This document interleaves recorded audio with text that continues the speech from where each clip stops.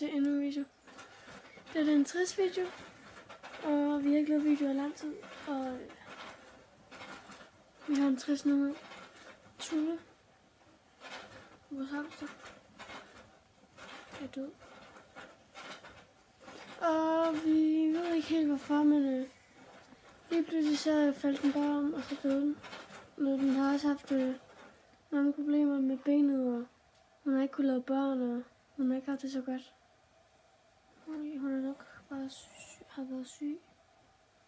Så vi har lavet sådan en kasse til hende. Hun ligger her. Det er rigtig synd.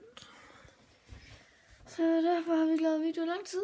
Men jeg er ikke derfor, men min tulle er altså død.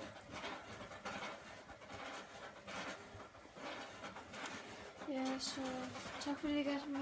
Det var bare en trist nyhed. Meget trist.